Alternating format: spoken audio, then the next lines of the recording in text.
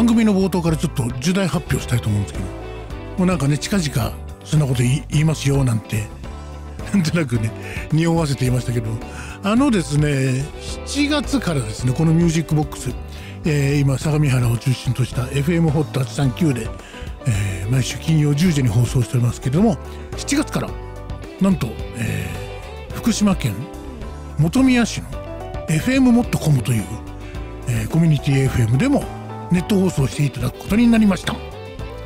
えー、ですからこれから相模原、えー、町田愛川町だけでなくこの本宮市ですねまあ FM もっとこもあのー、リスラジっていうところでねまた全国でもねネット経由で聞けるんですけれどもあのそういう放送がそちらでは土曜日の9時ね。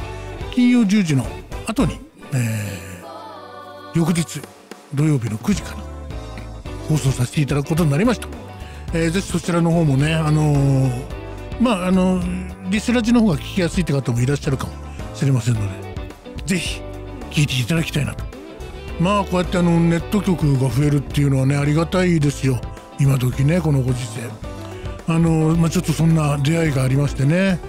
つない、でいただきましてそういうご縁がいただけたの本当にありがたいなと思っております。7月からぜひ、えー、福島県本宮市 FM.com での放送もぜひお楽しみに。あのもともと僕はこの浪江にね移住してきた時に何かこの浪江町で、えー、そういうコミュニティ FM みたいなことできないかなってねあのずっと考えてはいたんです。まあそれのだからなんか第一歩がここからスタートできるかななんてねちょっとあの楽しみにもしてるんですけれども。そうするとやっぱりちょっとあの心配なのがあの鉛とかですよね。言葉とかあと地名も難しいですよね。相模原でも結構読み方が違うね全然独特の地名とかあるじゃないですか。でまたあの鉛もその地元の人じゃないと分からなかったりとかしますからね。僕もだからこの福島県のこの浪江っていうところには、えー、夏休みのたびに子供の頃からねおばあちゃんに会いにおばあちゃん家に、えー、帰ってきてましたけど母方の方のおばあちゃんも全然もう分かんなかったですね。あの地元の人同士で喋られちゃうと。だかだから僕に話しかける時はきっとあの子供向けにね分かりやすく話してくれてるんでしょうけど。でちょっとそういうのもね例えば交通情報をやるにしたってね全然分かんなかったり読めなかったりしますからね。あのもし古谷かるさんがそうやってやるとしてもねあの地名とか発音とか分かんないこといっぱいあるだろうなと思ってね。その辺をちょっとあの心配してたんですけどもあのー、結構やっぱりお年を召した方とかはやっぱり鉛がきつい方多いですよね。それでうちの母が先日近所に住んでる大工の佐藤さん とお話ししてましてねあのー、なんかねうちの父がちょっとあの腰を痛めたなんていう話もこの間、え、ちょっとしましたけれどもでそれであの、今あの介護のヘルパーさんとかがね今来てくれてるんですよ。あの1日3回に分けてこうもうほとんど寝たきり状態だったんで、えー、まあ今あの要するに、まあ、骨折だったんでね腰の方の骨の背骨のところですよねだからそれ圧迫骨折だったんでやっぱりちょっと時間かけてしっかり治さなきゃいけないということで今ヘルパーさんに来てもらってるんですけど多分その大工の佐藤さんはその話を聞いてそのヘルパーさんとかの相談をしたいんだと思うんですよね。それでうちの母に、えー、その人を紹介してくれと。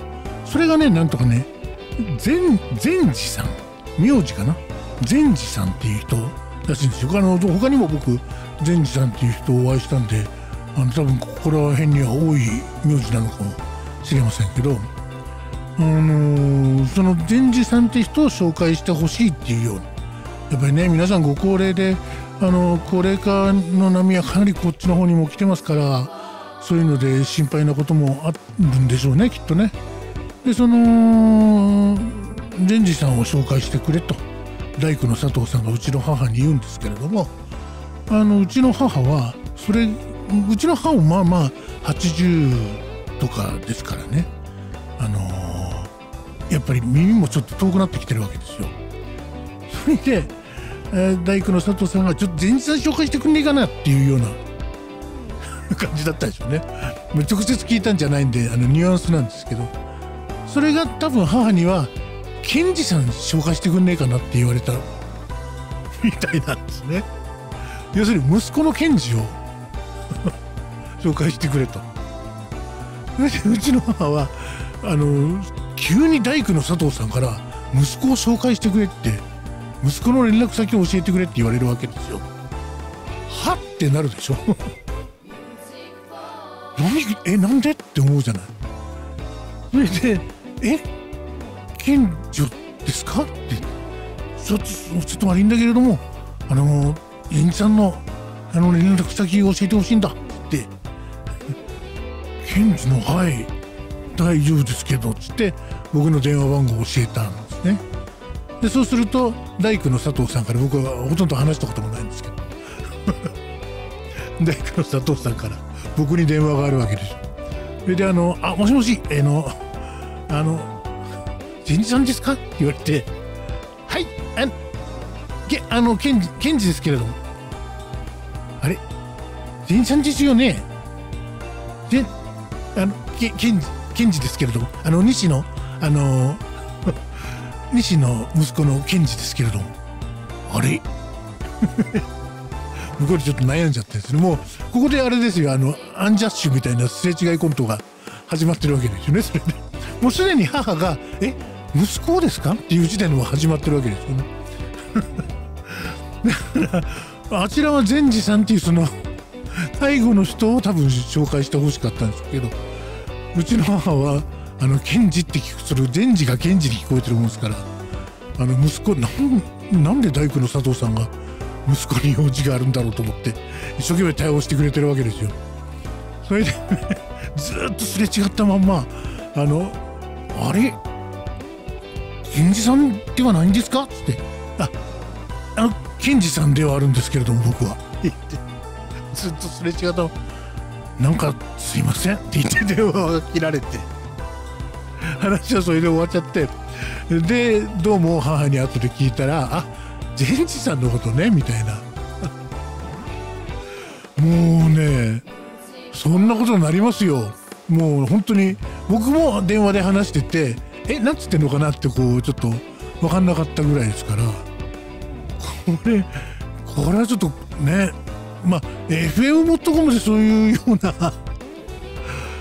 ことにはならないとは思いますけれどもねいずれこの浪江町でラジオやりたいななんていう思いを持ってるからにはちょっとそういうことも考えていかなきゃいけないなと思いました。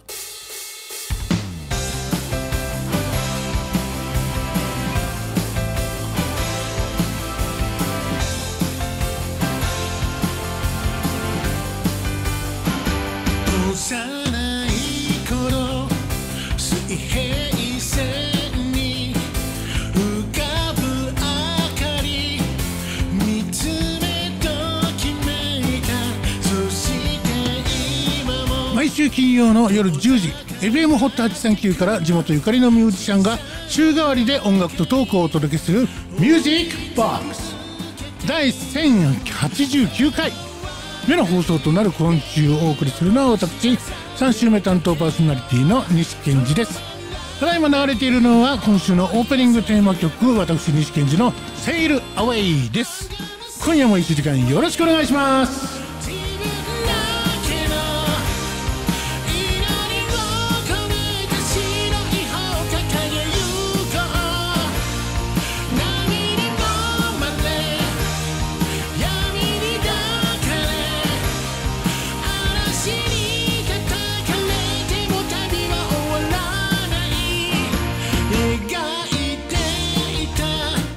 週目といえばですね毎週大喜利コーナーやらせていただいております。MV1 グランプリ。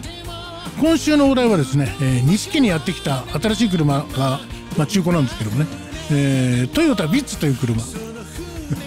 黒い車なんですよね。僕あんまり乗ったことないんですけど、えー、まあいろいろもろもろいろんなことがありまして紆余曲折あってうちにその車がやってくることになりました。ずっとねあのー、うちで買った車はあの割と中古で古いものが多いんですけども可愛い車が多くてね。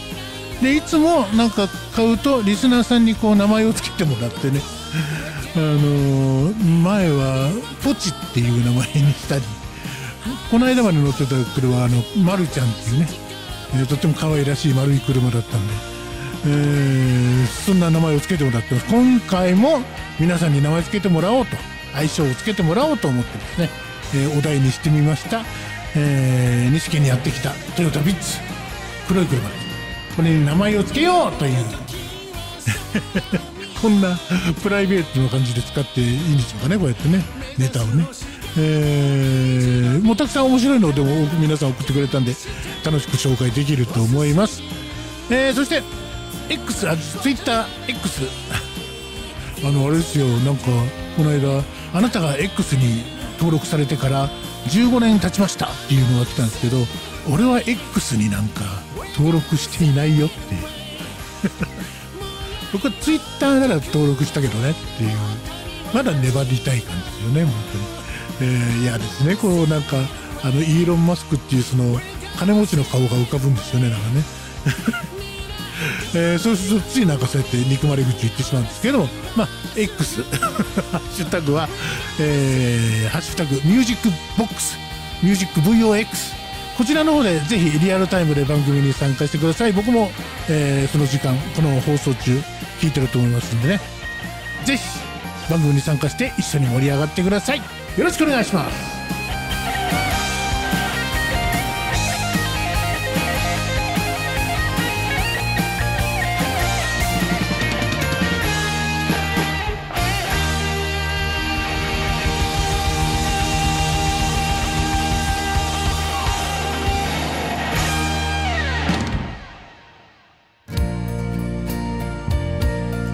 週は、えー、雨の歌。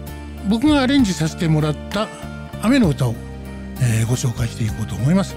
まず1曲目は峰谷正彦8月の雨。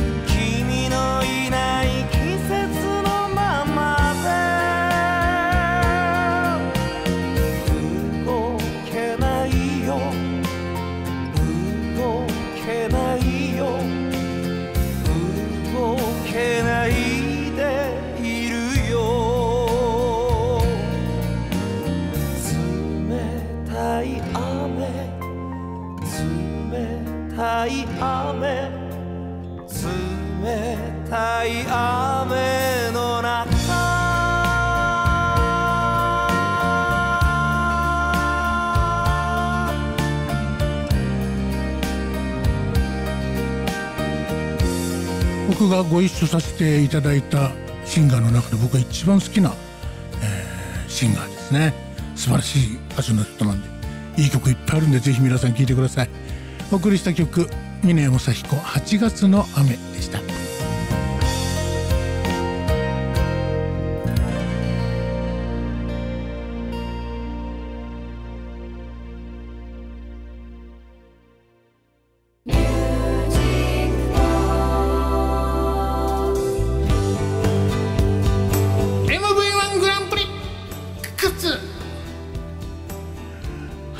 週も大喜利コーナー音楽番組にあるまじき。ちょっと口回んないな今日。えー、大喜利コーナー行ってみたいと思います。MV1 グランプリ。お題はですね、えー今週は錦にやってきた。トヨタビッツ。黒いトヨタビッツ。に名前を付けよう。という。まああのシンプルにみんな考えてもらえればねこういうのはもう本当に覚えやすいか簡単なのに限るんで、えーそういうのをもう熟知しているプラレールさんからいただきました。錦にやってきたトヨタビッツ名前を付けよう。キョロちゃん。いいですね。これねあの先週お題であの例題として例題じゃない回答例として、えー、クロちゃん。黒いからね。クロちゃんです。っていう。クロちゃんっていうのがあるったのと僕が最初はあのあの香織さんと話して、えー名前これにしようよって思ったのは、えービッツだからあのビッツマングローブっていうのはどうだっつって長いわよって言われてじゃあ略してマングローブっつってビッツどこ行ったのよ？っていう話をこの間しましたけれどもあのそんなのがあったんですけどいいですねキョロちゃんね。ただちょっと目の感じがでもキョロちゃんではない。こういう感じがいいです。丸っこくて可愛らしいんでね。僕もあのすごいスタイルとか好きですね。あのーちょっと丸っこくってなんかやっぱりねスタイリングがどんどん進化してますよね。昔の丸いのとは。ちょっと違ってね。えーそれからアークさんからいただきました。錦にやってきたトヨタビッツに名前を付けよう。僕ばっかり運転僕ばっかり運転してたら右側だけタイヤとかサスペンションとかへたっちゃうからたまにはバランスを取るために運転交代してよカオリン。GO カオリンゴーですっていうことですね。これはでもあの車の叫びでしょうねきっとね。あのもう香織さんちょっとしたことでこうあの運転してくんないんですよ あの夜は運転したくないとかね。もうこの辺であの街灯が少なくて暗いんで暗い道が多いんですよ。それでほら動物が夜中に夜行性の動物がうろうろしたりするでしょ。だからね夜運転したがらないんです。雨でもしたがらないですね。あとなんか狭い駐車場のところは行きたくないっていう。ハードル高いんですなんかね、えーそういう時にいいですね。この名前使いたいですね。青木さんありがとうございます。えー、と メンクイズカロックさんからいただきました。ああ今週もありがとうございます。メンクイズカロックさんねあのーネタネタ投稿割となんていうんですかはがき職人的なところありますからね。助かります。ありがとうございます、えー西さんこんばんは。先月に引き続きネタを送りたいと思います、えーまだまだ全然ダメですがよろしくお願いします。そんなことないですよ、えーまたいつか西さんとラジオのネタ投稿対決ができる日々が来ると嬉しいです。僕もそういうネタとラジオのネタ投稿大好きなんでね時間があるとすぐもうラジオにネタとか生放送聞いてるとね送っちゃうんですけど。それでね一緒に結構同じ番組に送って2人で読まれたりするんですよなんかね。そういうのねまたやりたいですね。さあ今回の西家にやってきたトヨタビッツに名前を付けよう。さすがメンクイズガロックさんは、えー名前を付けた結果どうなったかも含めてのネタを送ります。というね。えー、錦にやってきたトヨタビッツに名前を付けよう。古谷香織さんという名前を付けた結果あまりの美しさに周囲の脇見運転が増えた。名前を付けただけで美しくなるわけではないと思うんですけど、えー後日私の口座に宣伝費として5万円振り込んでください。こう5万円の効果あるかね？えーっとトヨタビッツに名前を付けよう。うっかり八兵衛という名前を付けた結果車検が切れた。うっかりね。忘れがちなんですよね。なんか今回あの車検のあの貼ってる位置が真ん中じゃなくなったんですね。なんかどっちかによってたような感じがしたけどその方が多分気がつきやすいってことなんでしょうね。うっかり車にうっかりはダメだよね。人の命に関わってくるからね。まああの車検が切れるぐらいならまだいいけども事故につながったりしたらね大変ですから。トヨタビッツに名前を付けよう。2枚目俳優にあやかって原田龍二という名前を付けた結果運転以外の使用法が増えた。いいですね。ネタ投稿のこう 職人っぽいですね。あれはでも SUV かなんかもっと多分大きい車でしょ？ね。あんまりあんまりそんなコンパクトカーで するようなことではない。ないと思うんですけどね。えーそれはみっともないですよねちょっとね。えー、っともう一個。うーんとトヨタビッツに名前を付けよう。FM ホットの社長にあやかって夏希という名前を付けた結果西さんが運転中不満を口にすることが増えた。おいおいおいおい。おい俺は一度たりとも一度たりとも 局に不満を言ったことなんかありませんよ。ましてやましてや夏希さんに逆らうようなことを。一度たりともありませんからね。えっといいですね。攻めた。こういう攻めたネタ。あの読む方も緊張感があって。ね楽しいですね。ええっとえーハリハリ画面ライダーさんからいただきました。ありがとうございます。毎週本当ね早くから送ってくれてありがとうございます。えーっと錦にやってきたトヨタビッツに名前を付けようイカスミ。黒が黒いからって。なんかね本当はなんかママイカブラックとかいうのかな？なんかちょっとメタリックの入ったような。そういうブラックらしいですけどね。イカスイカスミカラーとはちょっと違うような。気がしないでもないけど。まあいいんですよ。その黒が表現されててそれっぽかったらね。えー、イカスミいいですねでもねちょっとね。じわじわくるね、えーメッセージもいただいてます。渡辺満里奈さんの嬉しい予感。先月かけたのかな、えーを聞いて響きに独特の特徴癖が感じられたのでこれは大竹栄一さんが作曲したんじゃないかと思いましたがまさにその通りでしたね。ね大竹さんのもうナイアガラサウンドというぐらいであのー僕は多分リバーブ一瞬の一瞬のタンバリンにかかったリバーブとか カスタネットのカラカラカンカラランにかかったリバーブを聞いただけであナイアガラサウンドだってわかる かもしれないですね。そういう人多いと思いますよ。吉田保先生のミックスだったりするとね。あの大竹さんって結構テレビで流れる自分の曲なんかもあの自分でミックスしたりするらしいですね。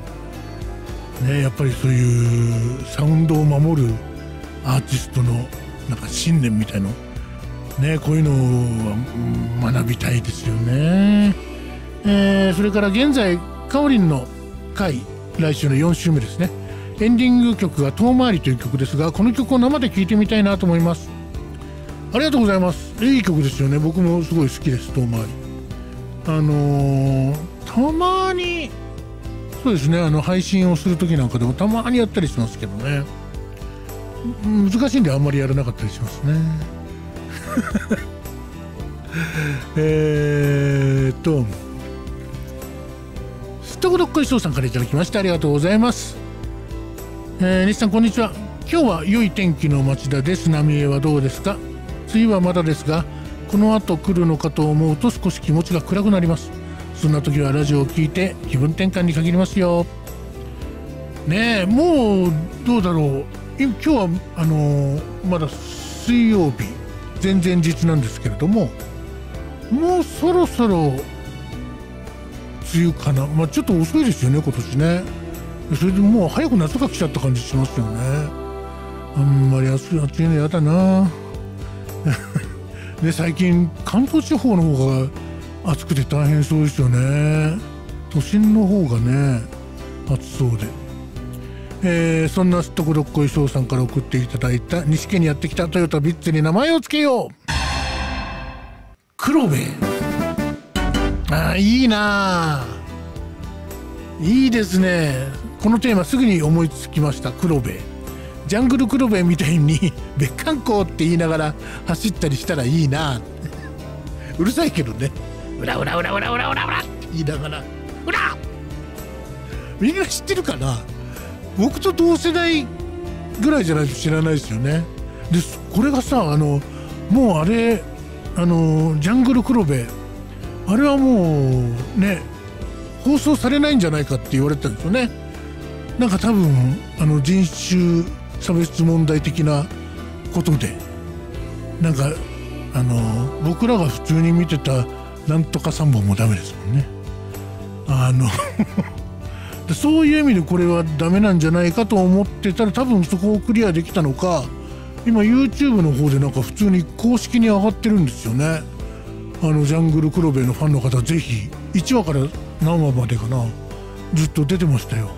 で僕もちょっと楽しくなってあの1話フルで見て一緒に歌ってました「裏裏タンタン裏裏タンタン裏!」ってやつ。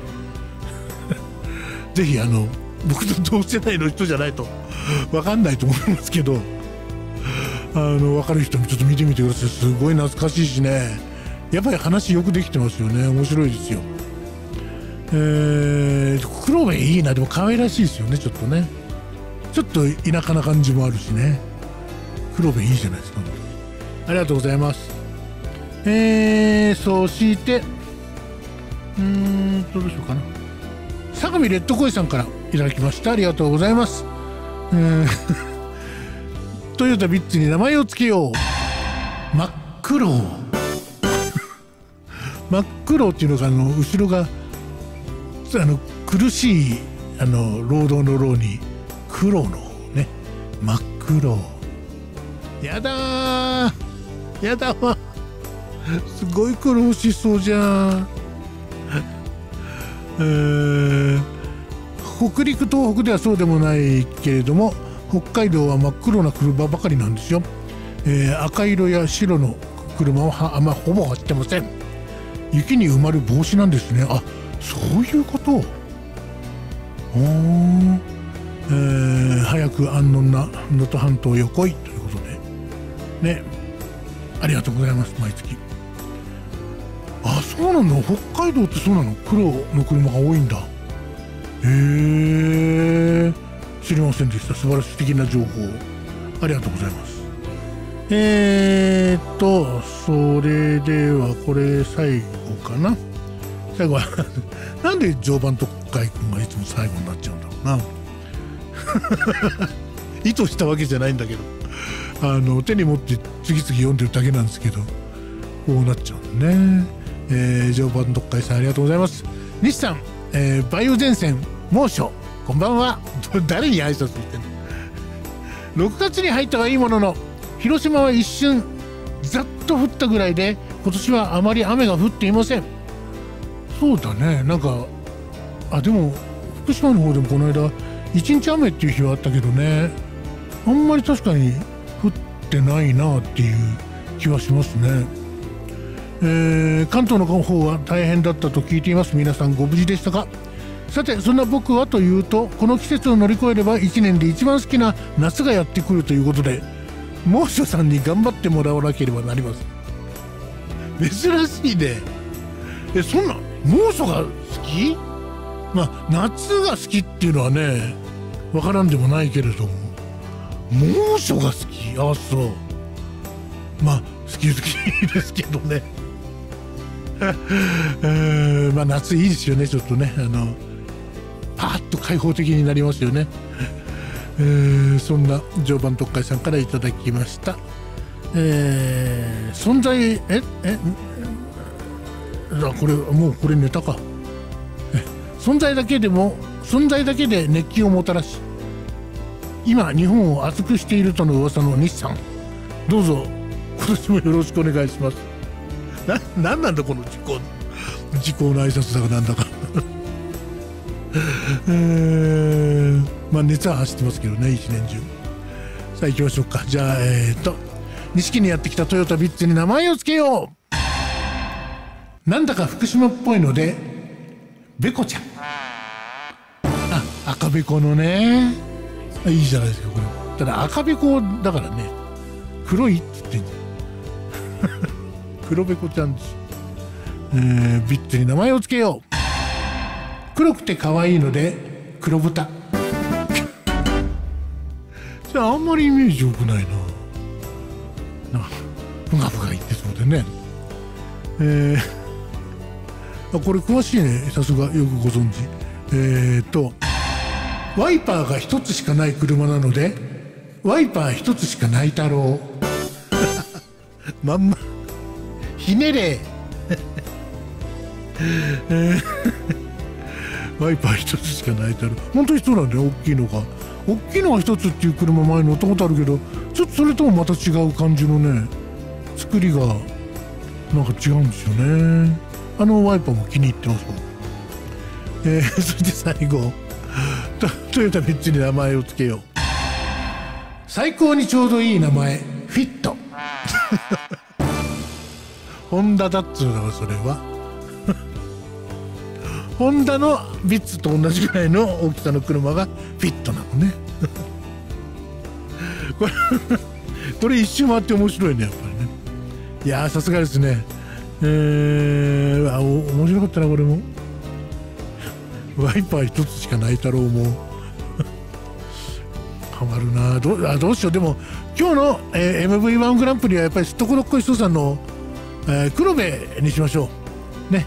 ジャングル黒部のうらーって感じが僕はもう ハマっちゃいました、えー MV1 グランプリです。おめでとうございます。さあそれでは来月なんですけどあのーもうね FM.com の、放送がネット放送が始まりますんでえーちょっと絡めていきたいと思います。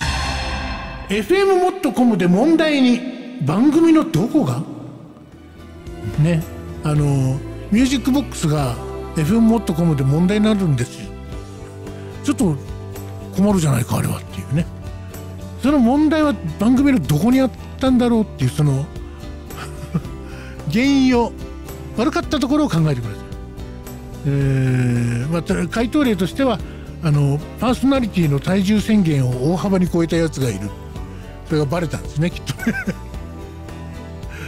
一応一応あの90キロまではいいんだけどねみたいな大幅に超えてらっしゃるようなので ちょっとうちではっていう。まあなんかないねどういうルールがあるか意外と分かんないもんですからそういうルールをちょっと考えつつ、えー盛り上げていただきたいと思います、えー7月の3週目水曜日の夜10時ぐらいまでに、えー回答を送ってくださいメールの宛先は、えーミュージックボックス FM ホットアットマーク Gmail.com これは変わらずいきましょうかね、まああの FM.com の方に送っていただいても転送はされると思うんですが、えー一応このメールアドレスはそのままでいきます。musicvoxfmhot.gmail.com こちらまでぜひ送ってください。ということで今月の MV1 グランプリでした。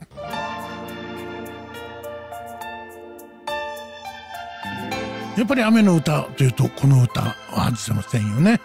えー古谷香織さんいろんなバージョンがあるんですけども今回はアルバム「ルッキングバック」の中からお送りします。古谷香織で「レイン」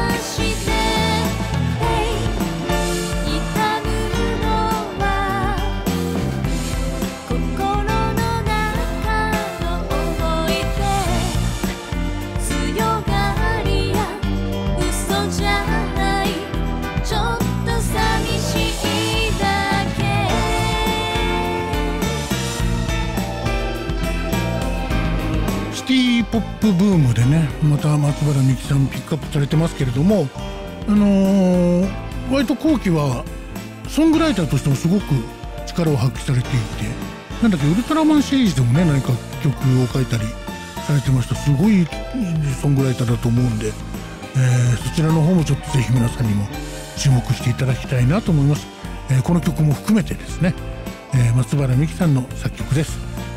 古谷香織で「レイン」でした。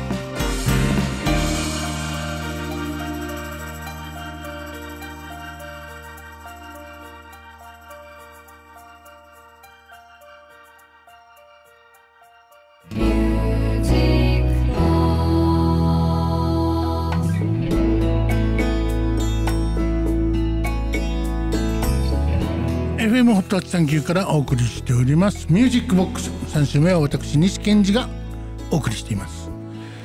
あのー AI のね発達がそこここで話題になってますけど僕が一番実感してるのはあのー SNS の広告とか表示される動画とかそういうのですね。あの本当に抜け目がないというか韓流ドラマのねなんかねふるさとへの華麗なる帰還っていう若い実業家のなんか大金持ちの会長が身分を隠して結婚してすごい美人の人と結婚してその美人の人のあの家族奥さんの家族の人たちに会ったらその金の亡者たちがなんかその大金持ちの会長だって知らずにいろいろ小バカにしてくるんですね。でそうやっていじめられたんだけれどもあのその会長は実はその中のこうトップでものすごいお金持ちで多分その後でその金の亡者たちが懲らしめられるっていうやつのあの一番こういじめるシーン その若き会長お金持ちの会長をすごいいじめたりひどいことを言ったりするシーンがいっぱい出てくるんですよねでそこばっかり出てくるんですよ であのこれからあのその若い会長がその要するに親分的なおばさんがやってくるとあのあんたこの会長になんて失礼なことはみたいに風になるんでしょうけどそこを流してくんないわけですよ。で何回見てもそのいじめいろんないじめるシーンが出てくるきてそれ最後の解決される要するに水戸黄門でいう印籠を出してくれない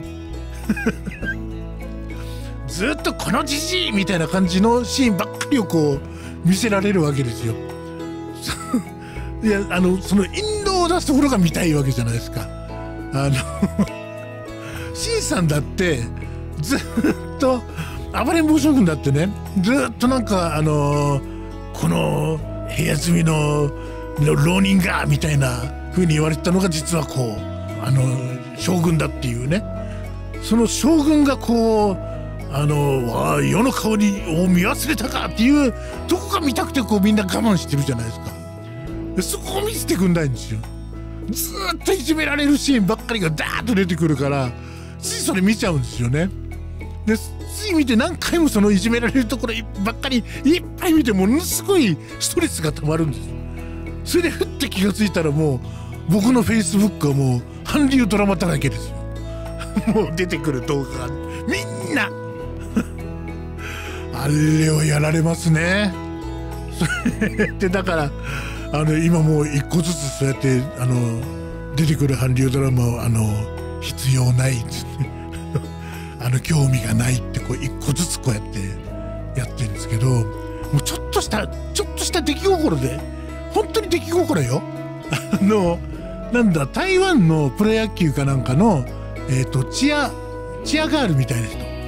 あのまあ日本でもあのねあの北海道であのキツネダンスとかやってちょっと話題になったりしましたけどそういうチアの女の子がすごい可愛いらしいんですよね。それでその子ばっかりを撮ってもうその子が休憩してる間とかをずっと撮ってて野球全然見てない動画とかがすごい上がっててでそれのまあやっぱりサムネイルというかタイトル画面にこうなんか可愛い子がいい感じで映ってるのちょっと見るとああ可愛いななんて思って見ちゃうともうもう表示される動画がみんなチアガール。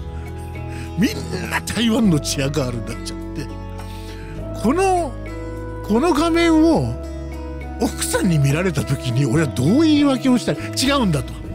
違う。一回だけ一回だけ見たよ。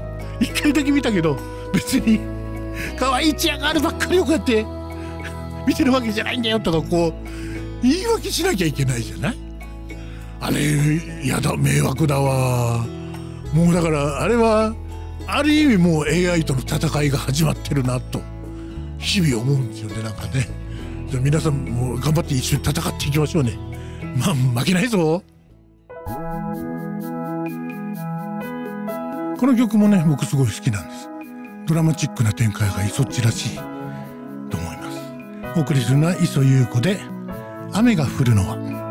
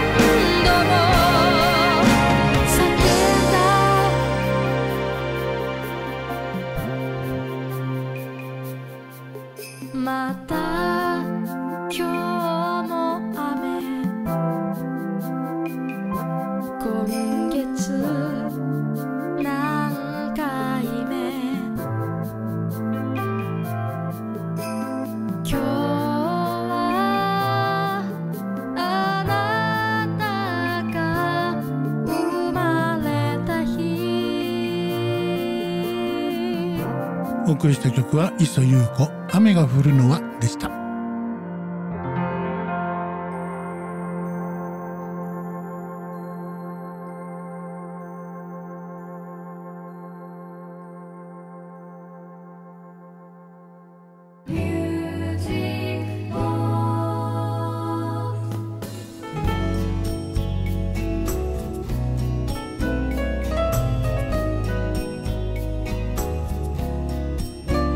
番組の冒頭でもお話ししましたように7月からこのミュージックボックスが、えー福島県の、えー本宮市のコミュニティ FM FM もっと com でも、えーネット放送していただくことになりました、えー土曜日の9時から放送になります、えーぜひそちらの方もねもしあの本宮の方とかに知り合いがいるっていう人はぜひすごく面白い番組がそっちでやるから聞いてねって宣伝してください。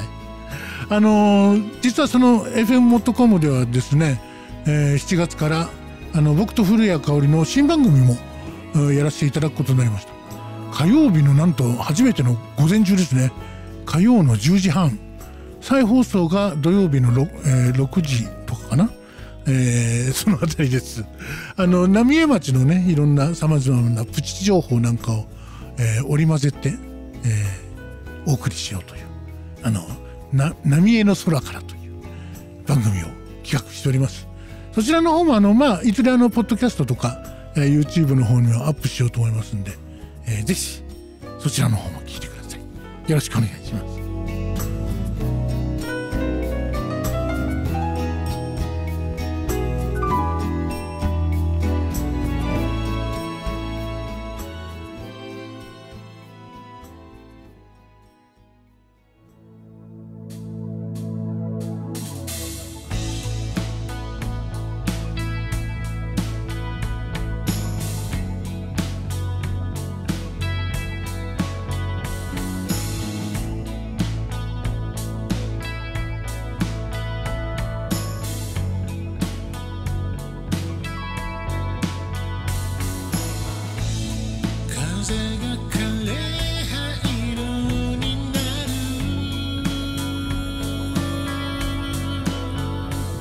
送りしてまいりました。